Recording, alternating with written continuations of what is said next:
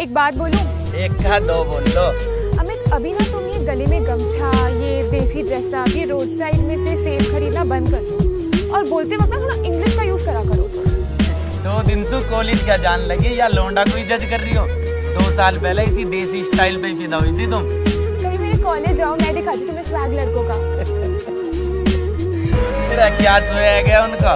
Paint उनकी घुटने से नीचे जा रही है जवानी में उनकी फंगस लग गए कमज़ोरी इतनी आ रही है कि ग्लूकोज की बोतल चढ़ानी पड़ेगी।